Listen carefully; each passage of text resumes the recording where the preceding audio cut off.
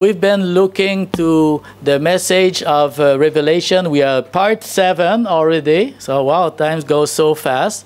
And I started with the, talking some of the churches, and actually it's kind of the fourth fourth church because uh, one previous message, though it was not all dedicated, we discussed like the the, the lack of our emotions. It was from the book of to the Ephesians, and uh, here uh, we last uh, two weeks ago we talked about Smyrna, the poor church that Jesus considered as being a rich church. And last week we talked about the foolish church, Laodicea, who says, I am rich. And Jesus says, You are poor, you are blind, you are miserable.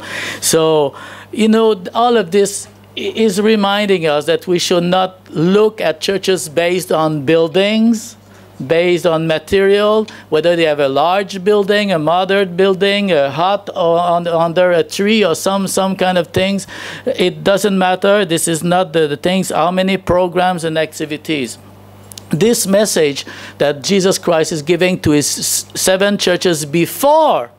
And you need to, to realize the, the timing of all of this. This message is a picture of our modern church today. We need that message before the judgments, before tribulation will come, before the wrath of God is coming into this world. He is giving us a chance. This is a message of mercy. This is a warning. He loves us, even though we look at these churches and many of them have lots of problems. He loves us so much that He is correcting these problems. He's telling us that He sees the problem, that He knows the problems, and He is tending His, his, his hand and He's telling us everything we need to do, the steps. So today we want to look at some of the steps. Uh, look looking about true spiritual life, God's formula for renewal and revival. How can we be revived? Because this is what Jesus wants us to be. When He comes, will we be ready? Amen? Are you ready?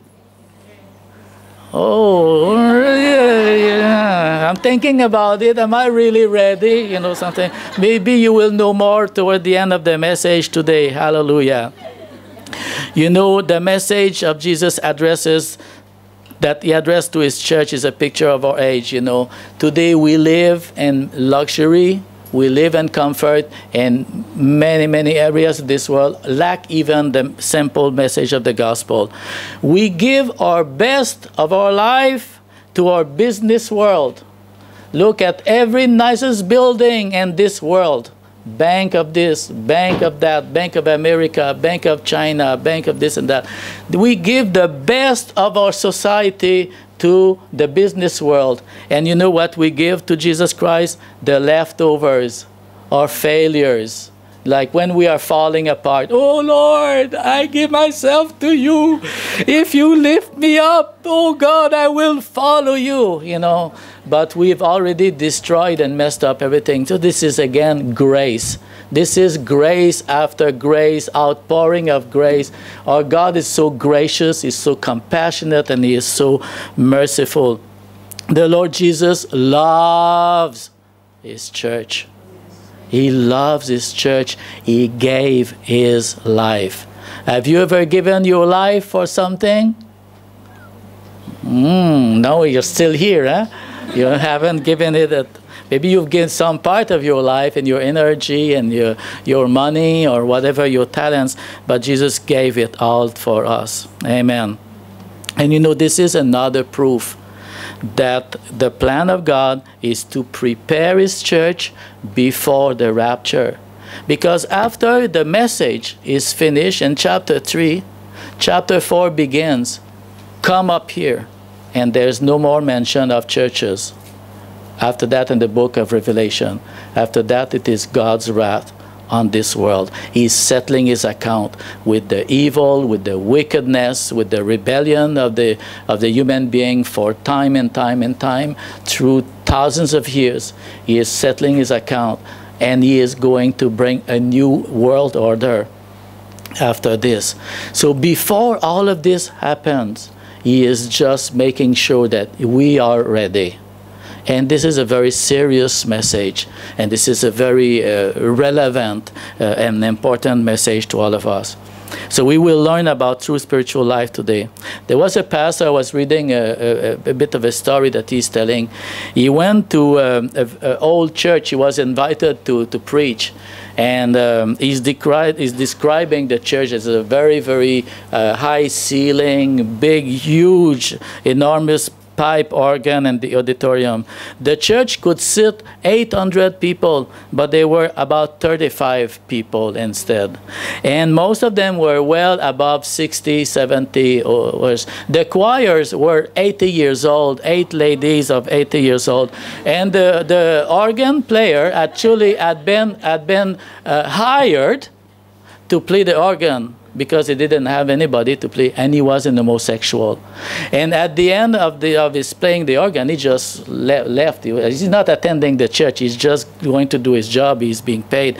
So the preacher was in this church looking at his environment and he was uh, quite disturbed about this. He says as i waited for my time to preach i was aware of the life of the city outside. Outside, there's there's life, there's activities, and also he was aware that people totally were unaware of this church and untouched by this church.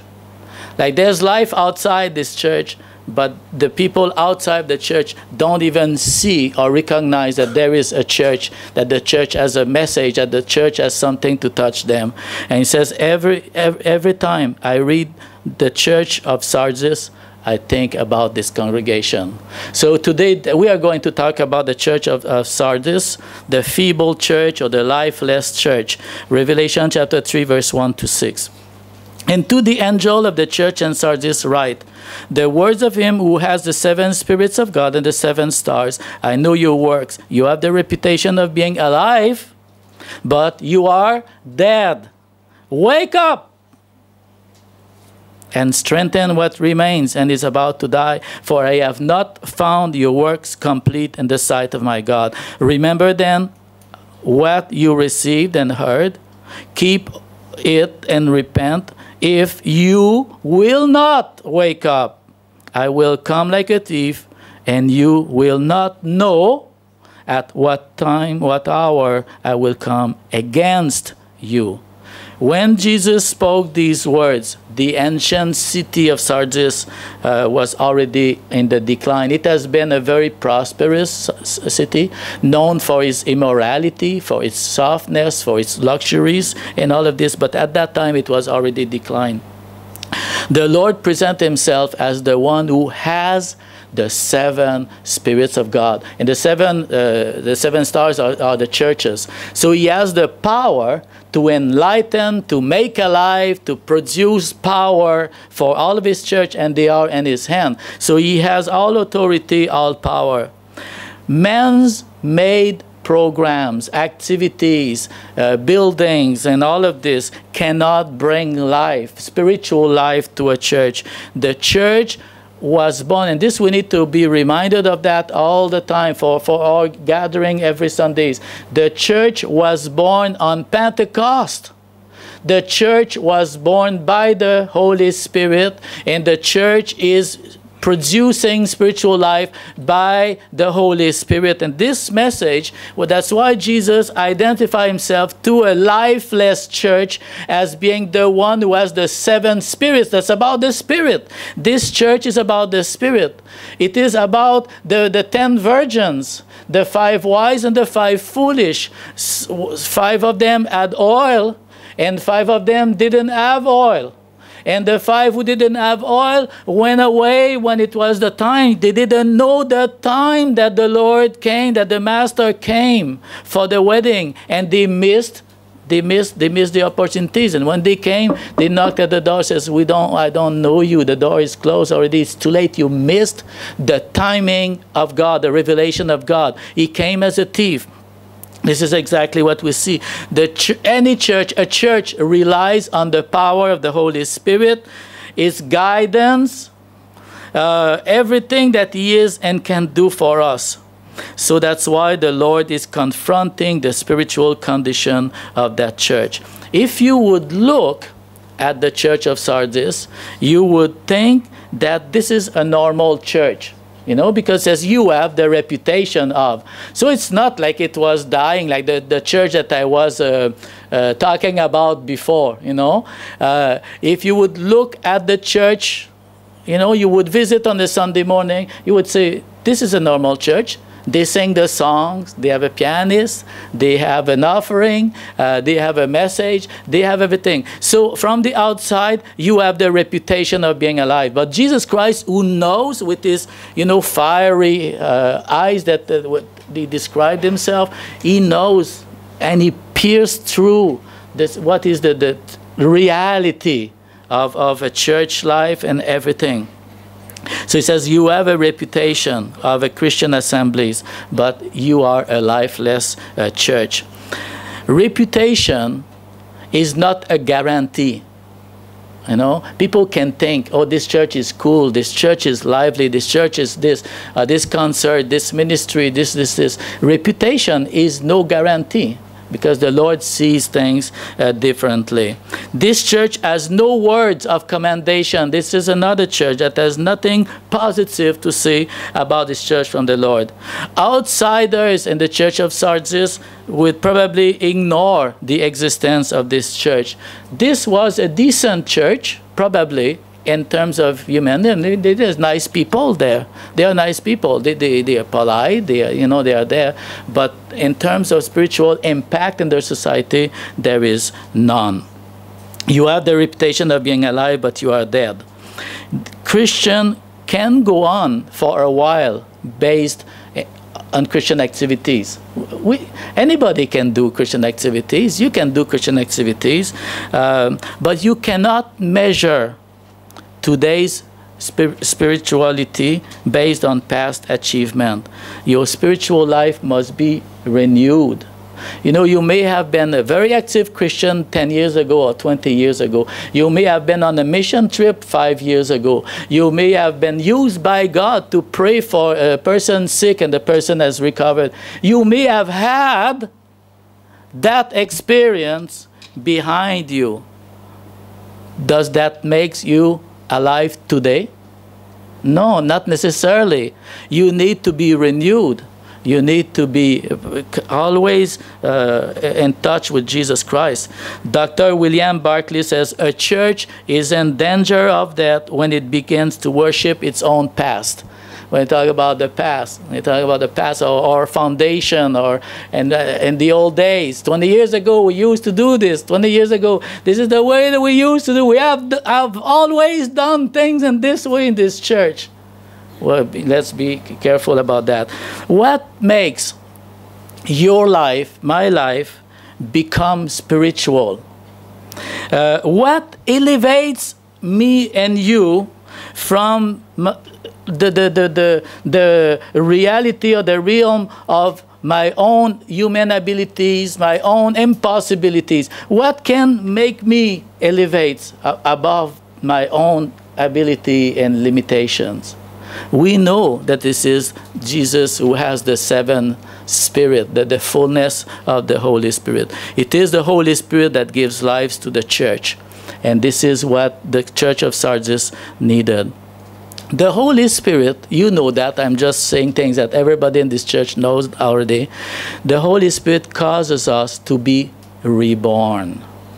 Without that, there is no life of God. So that's the beginning. The Holy Spirit start, initiate, brings it to be possible to be reborn.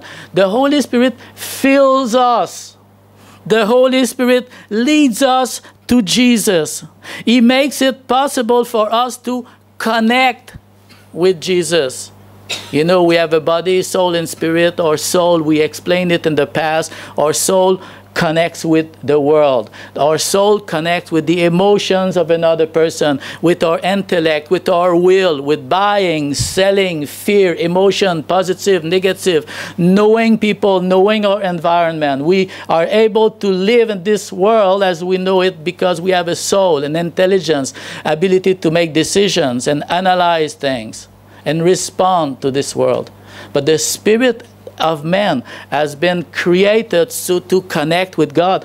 But when we are not born again, this connection is not possible. There is a wall because of sin, and God is on the other side of the wall. But when we believe in Jesus Christ, the Holy Spirit comes and lives in the spirit of man, and the life of God comes active, and then the process of transformation, rebirth, and then sanctification begins. I have a list of uh, scriptures quickly to look at about the Holy Spirit in John chapter 14, 20. I just put some, some of them.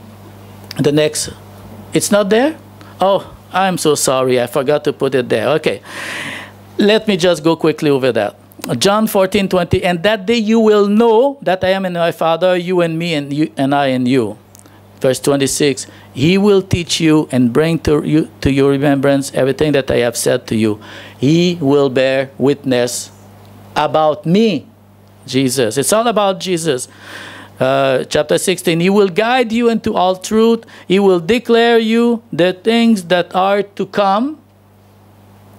He will glorify me, Jesus, and he will take what is mine and declare it to you or show you the things.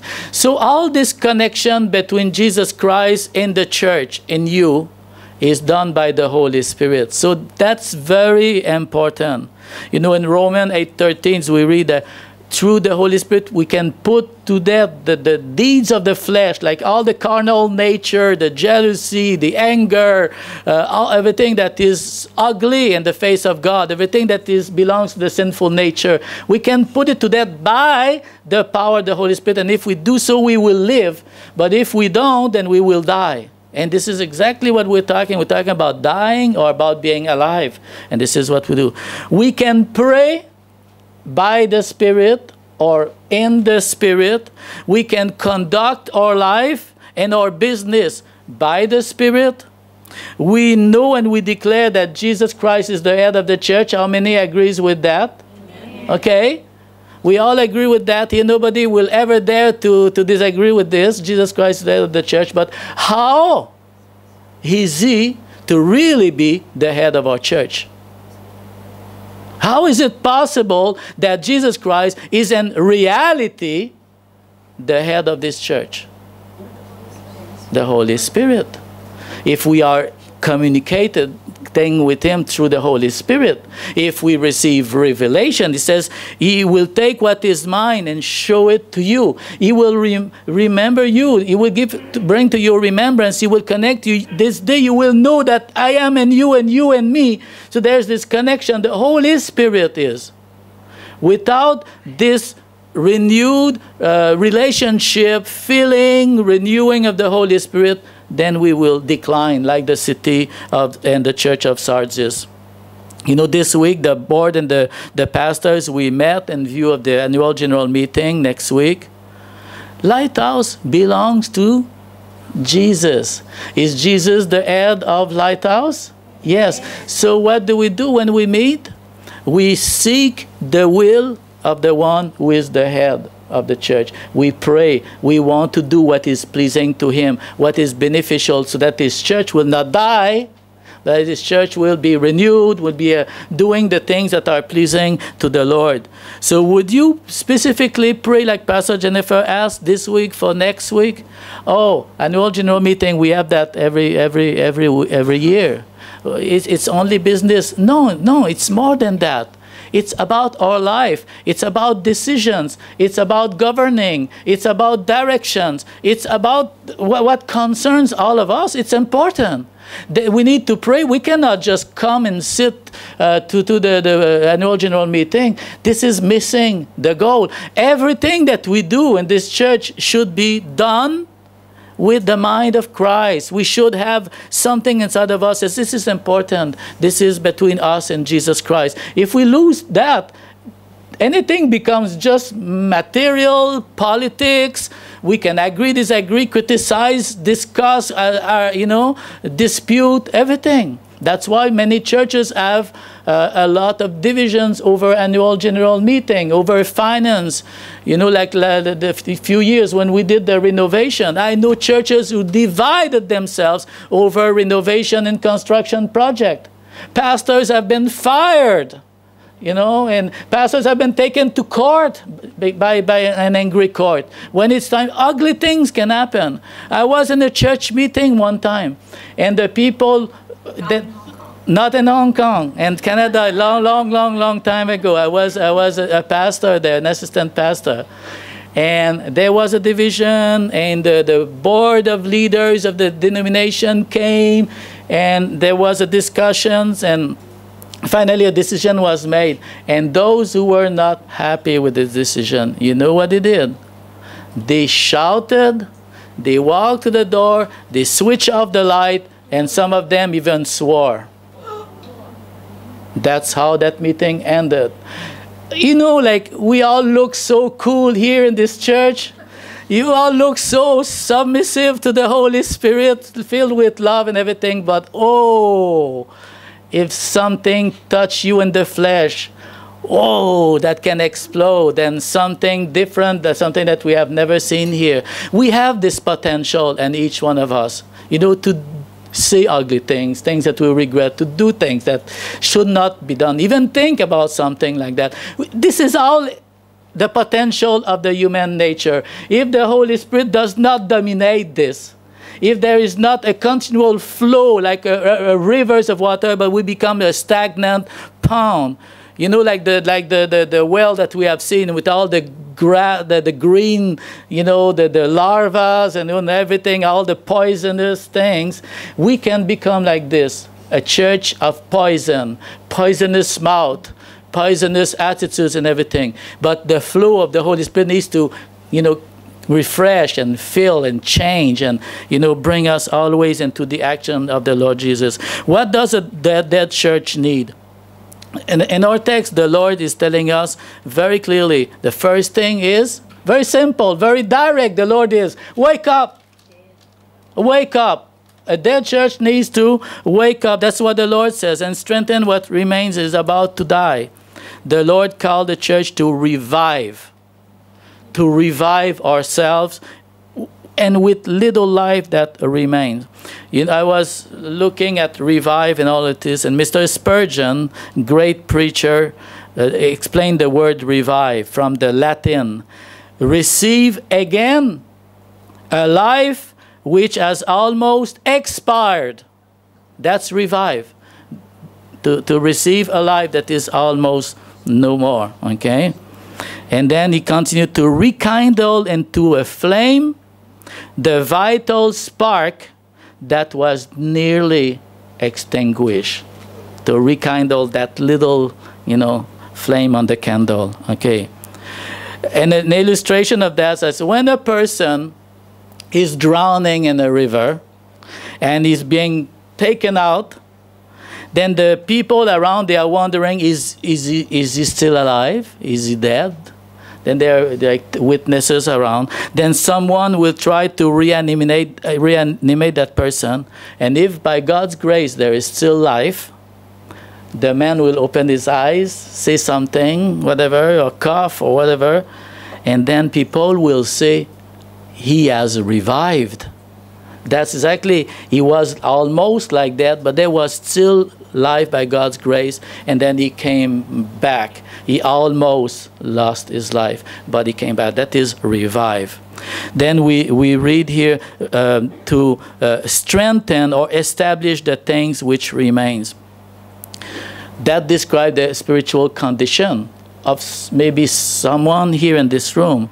It's not hopeless because you still can strengthen. That's the message, that's the beauty. There's, there's a problem, okay? This is not good. This is a bad condition, but there's hope. That's the message that Jesus said. Strengthen what remains. There's still a remain, okay? And, and it also says that it's uh, in great danger. It's about to die. It's not too late. You see, nothing is hopeless Nothing is too late. If there is still a little bit, you can bring it back. For I have not found your works complete in the sight of God. The, the text should be read like this I have found no works of yours fulfilled. I have found no works of yours fulfilled. And the word, the word fulfill uh, is a very interesting word, means level up, satisfy, accomplish, full, fill up. So before God's, in the God's side, before God's eyes, these works of ours or actions that we do, we're supposed to do for Him, or ministries, or whatever we do as Christian that is supposed to be in the name of Jesus Christ, we can look at it in different ways. Many of us, we do something that may be incomplete. We start something, but we don't finish it. We don't have the heart to finish it. We start a class, Lord, I'm going to take this class because I want to be a disciple to, for evangelism or seeking Him or whatever. I will start, but how many people will fall before the end? Okay? We start something, but we don't finish uh, something. Um, you show up, you, you, your name is on a schedule for ushers, for the EasyWorship, for whatever it is. Your name is on the schedule. You will show up. You will fulfill that day, but there's no heart in it there's not the best quality of your life because your name is on the schedule. I have to. Maybe a few Sundays you will not even show up to church, but the day that your name is on the schedule, you will come to do your duty, which is even worse. it's like doing something superficially, but with not with the heart. Okay, another thing that we know, all of us here are quite intelligent people, I would say. Eh? We all have intelligence and abilities. We can all do something or anything with our natural abilities. About everything that is being done in the church weekly, we can do it with our natural abilities. Brother Stephen, can you play the guitar without being in the spirit? Yes, you can. Brother uh, XP plays as a, is a, is a professional. Uh, can you run the computer without doing it for God? Yes, because I've been, you know, using a computer since 1993. So I can run, run my mouse and everything. I can, I can do these things. Uh, can you be an usher and open the door and smile to someone? You know, you just wake up, get out of bed, you know, wash your face, you know, and then just show up, you know, on the time that the pastor says. You can do that. We can run EasyWorship without any passion for God because we know how to uh, run the uh, without any sensitivity to the Holy Spirit. You can play music without uh, the Spirit because you are good on an instrument. You can be a, a Sunday school teacher because you are good in telling stories. You are just a natural gift and you are naturally funny. You don't need the Holy Spirit to do that. Okay? Uh, pastors, if we have been pastor long enough, I mean, we can just uh, get the newspaper and preach you a sermon next week, you know, from South China Morning Post. We can do anything. We have to decide if we're going to do it in the spirit or if we are just going to do it because we're getting good at it and we have to and all this without the heart. So your works have not been filling up what God is expecting of that it's not satisfying to the Lord. It's not measuring up uh, to that. The presence of work is not enough. You know why? And this is very important. It's one of my main point. Don't miss it. Okay, be stay with me. Don't sleep. If you're somebody sleeping, just wake him up right now. the presence of work is not enough because God requires. And I repeat that because God requires that works done for Him will be done with a particular intent and purpose. If you are going to do something for God, show up at church and take accept any responsibilities. God, not the pastors. Of course we want it too because we, we, we want to honor God and we want the best for the church. But God Himself requires Uh, when you say, Yes, I will do this task, that it will be done from your heart like it is for the Lord that you are doing. If you are going to buy something for the church to, to satisfy the needs of paper for the church, you do it. If you have to put the envelopes in the back, you do it. You do everything. There's a paper on the floor, you pick it up. If there is a toilet that is, you know, overflowing, you, you go on the ground floor, you ask the management, give me the, the plunger. I have a, a work to do for the Lord. And we, we do these things. When ushers say, Today I'm not usher, so don't ask me anything. it's not my day, it's not my schedule. I think there's a problem there.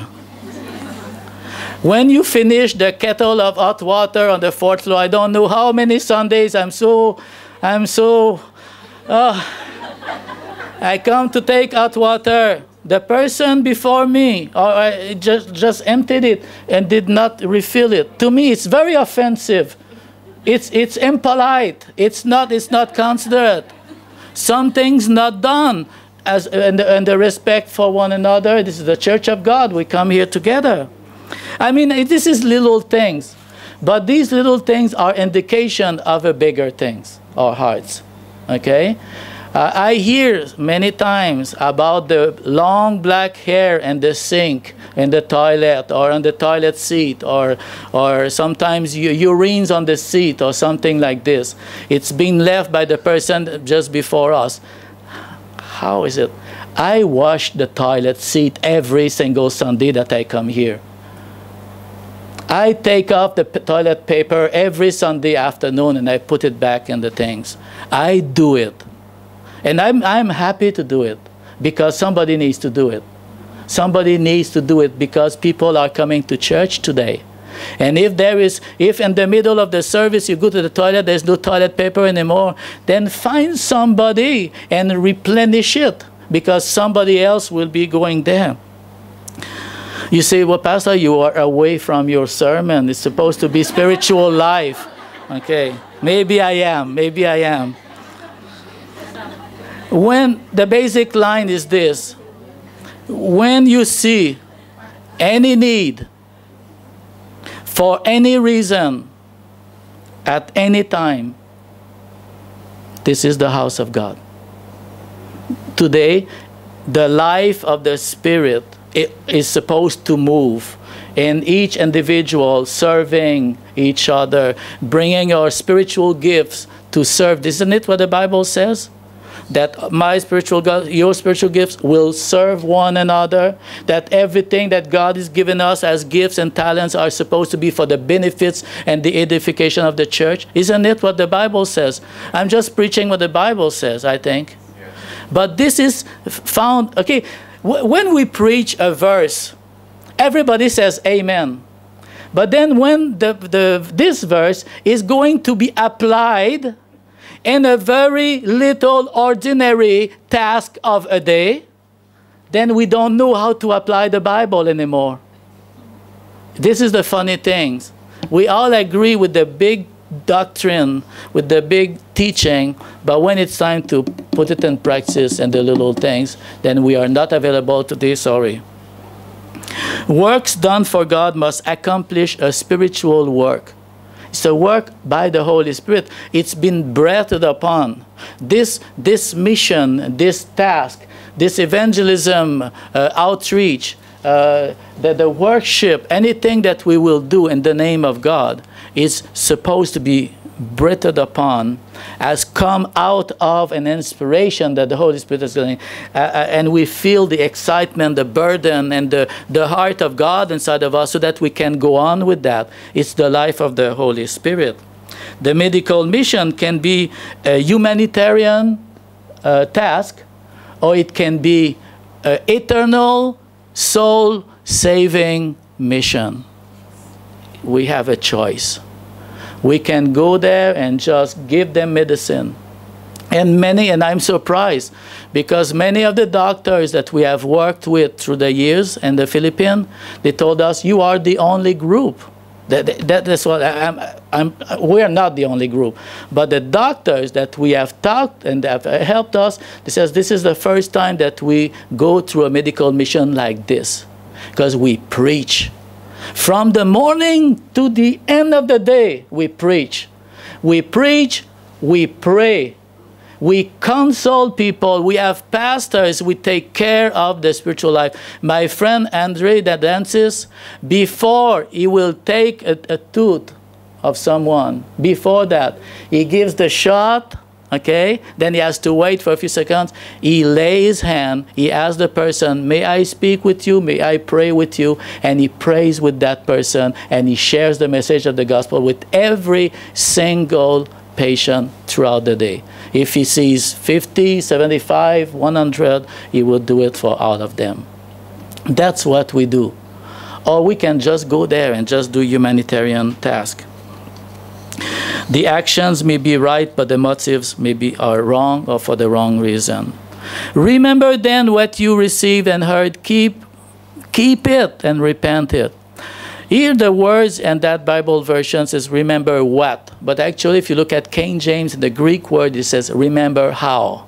Not, not remember only what you have heard at first, but remember how you were responding to it when you receive it at first, how important, how life-changing it has been to you, and how shocked that you have been when you heard it. You know, I remember the message that I have heard when I was saved.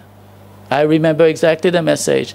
Seven months after I was a new Christian, I went to a, a, mission. It was in my country, but it was a true, true mission.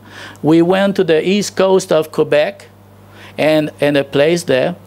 And in the morning, we had Bible studies, bilingual English and French. In the afternoon, we would go door to door. And at night, we would have uh, public meetings in the street. We've done it for every day for intensively for five weeks. I remember the teaching that I received into this the intensive Bible training. And do you know what? Most of the young people at the time who went to this school of ministry or whatever for five weeks, we are all missionary and pastors all over the world. Almost every single one of us to going through that. You know, this pastor was not even one of us. He was a pastor of an old established church in the city of Toronto. They are English speaking. And it was an old Pentecostal church, which could be very much dead like the city of Sardis could be. But instead, one day, him and his wife drove through the eastern part of Quebec and they saw no evangelical church, not a single one. Everything was Catholic only. And they were really shocked. So they returned to their church, they fasted, they prayed. Then they came back and they bought a piece of land near the American Indian uh, reservations and over there near a few cities, New Brunswick and Quebec on the border. And they started to bring uh, Bible school students from upstate New York and Toronto and, and Ontario, and then they would come and try to evangelize French-speaking people in Quebec who were Catholic. It didn't have a great success at first. And then after that, they started to reach out to our churches and ask our pastors at the time, would you send us young people to come? So then it became bilingual group. But everybody that joined in this group there, we are all alive in Christ and serving the Lord all over the world. And this pastor was not dead. He had a vision, and because of him, we are, in, we, we are serving God today. Hold fast, keep the eyes upon it, guard it, prevent losing it. That's what it means when hold fast to it. Repent. Do you realize that in the message of Christ to seven churches, the instructions or the command to repent is repeated five times. On seven churches, the message repent is five to five of them. That means something. This church had the reputation to be alive. This church was wealthy and well established. This church has all kinds of things going on for them. I know your works. One of these churches, your works are more than you used to before. So it's not a lack of activities and programs and nice buildings and money in the bank and all sorts of things like that that was the problem. But in all these churches that seems to flow in our society like successful, doing things for God, having good reputation, Jesus Christ says to five of them, repent. Why? What's the problem? Nobody in the board of this church or in the lead spiritual leadership of the church saw the problem. But Jesus Christ saw it.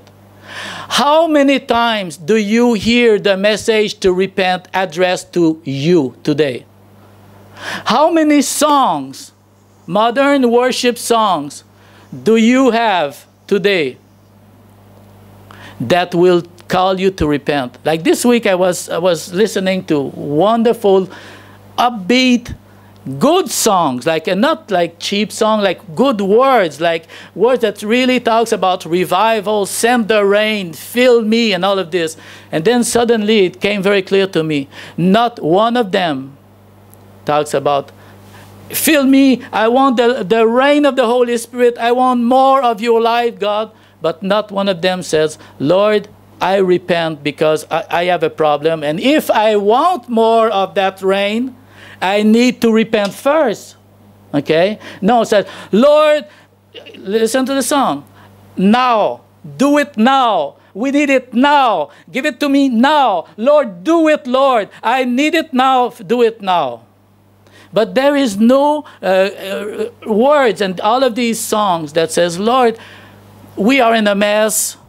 We need you to rescue us. Please, we need to repent. You know the message of Second uh, Chronicle chapter 7, if my people who's called by my name humble and seek and repent and turn away from their evil, I will heal their land. That is the message of the Bible. This is the message of Revelation. This is the message for the church today. This is a message for Lighthouse says, oh, wow, oh, I didn't know it was really for Lighthouse. Do I really need to repent? Do we need to repent? Is there something we need to repent of? Or we are just okay like this and just go on. Okay, I don't know. You need to, to decide by yourself. I have things I need to repent. What does that mean to repent? Change your ways. Come back to me that's that's repenting. Like there's something that is not right with God, not pleasing to the Lord.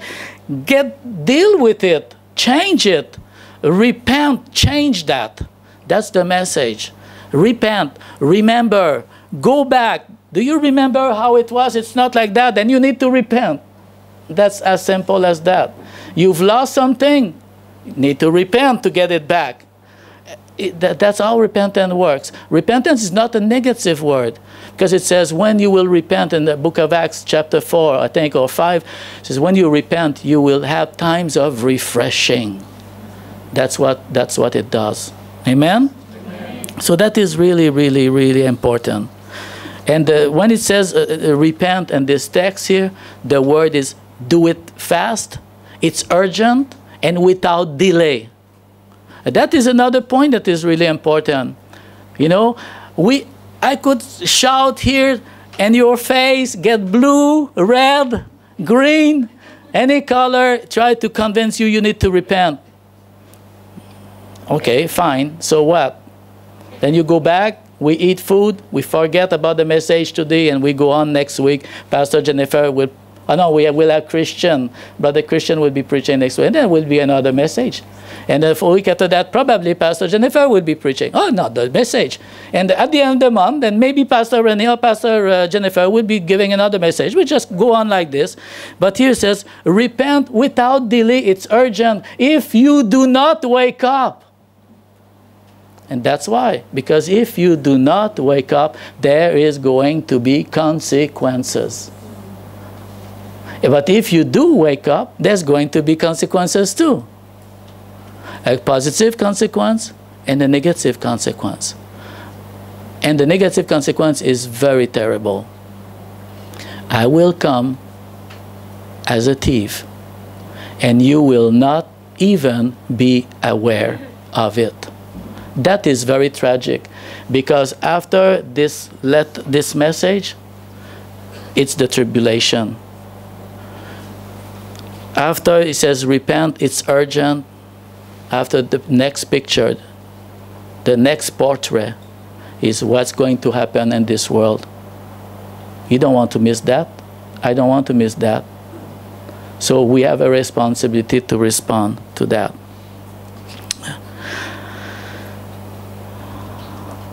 I want to read um, something from Mr. Spurgeon. I think it's really good. I have a, a, a, the, the, the slide, Mr. Spurgeon, and you will read it with me, okay? Because that is something about being revived that I think we, we will benefit from having it. So, can you read it over there? Yes. Yes, okay. Can we read from It is Sorrowful? Okay. It is a sorrowful fact that many who are spiritually alive greatly need reviving. It is sorrowful because it is the indication of much sin. A man in sound health does not need reviving.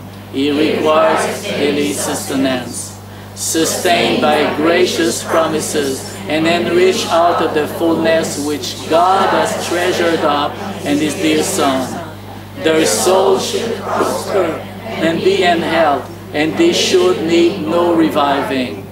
They should aspire to a higher and richer blessing than a mere revival. They should earnestly covet the upper springs. They should be asking for growth and grace. They should have outsoared the period in which they need to be constantly crying, Will that now revive us again? So, according to what you just read, praying for revival is already a sign of something negative, of, of a problem that is deep. Because we should have outsoared this need to always go back, repenting and repenting and repenting again and praying for this. Because we should now if we are in good health we what, what we need is not to be revived like the, the, the dead man i give as an example in the river and then you reanimate him because he's almost dead and then you revive. No according to mr uh, spurgeon here uh, pastor spurgeon if you are in health what you need is not revival. Because you already revived you're already alive what you need is sustenance. You need food. You need spiritual more spiritual life you, you, you need to be sustained. You know, God has so much in the Holy Spirit given to us. Why should we always be down? Why should we always be lifeless? Why should we always be disconnected from God? And, and living in the flesh and doing things and you know going back in a spin always and when we have the riches of heaven that the power of the Holy Spirit, we have everything that we need to be enriched with the fullness of God's treasures and His soul. Our soul should prosper, and we should need no reviving. That's the goal. That's that's the that's more the normal state. Okay, the church to Sardis is not the normal state. There's a problem, but God loves any any people, and He is tending his hand and bringing back up. But the, the, the, the desire of God or the Christian normal life should be that we nourish ourselves and that we live in the fullness of the Holy Spirit. How many of you are baptized in the Holy Spirit? How many of you spend times during the week to pray in other tongues? How many of you covet the spiritual gifts? How many of you use the speaking in tongues regularly or still continue to seek after that? That is the Bible. We want more. We want more. We don't want reviving. Maybe we do, because the reality is many times uh, below what the standard is, what the goal is, what the intention and the plan of God is. We live below that. So we need reviving, okay? So it's not that we don't need, we need it. But ideally speaking, if we walk with the Lord as we ought to, we should not always be in need of reviving. We should seek more of the fullness, more love, more power, more evangelism, more Bible studies and learning, and more going out for God, more outreach and more fruits and all of this. We should aspire to a higher and richer blessing. That's the plan of God. Amen? Amen. I hope I'm not putting you down this morning or feeling down. I, I want you to, to see what God wants for us that, that we have that in our heart, that we desire, that we seek after that, that we covet. Covet is a big word. Like we lost that, uh, we, we want it more than anything else. We covet the upper springs. That's the plan of God, the Holy Spirit and everything, that we will grow, grow in grace. That is what God wants to do. Amen? I'm stopping here. I can go on, you know that, eh? But I'm stopping here because that's, I believe, what God has put on my heart for our church today that God wants more than to revive us. He wants us to live in the fullness because He has fullness for us. Amen? Let us stand together.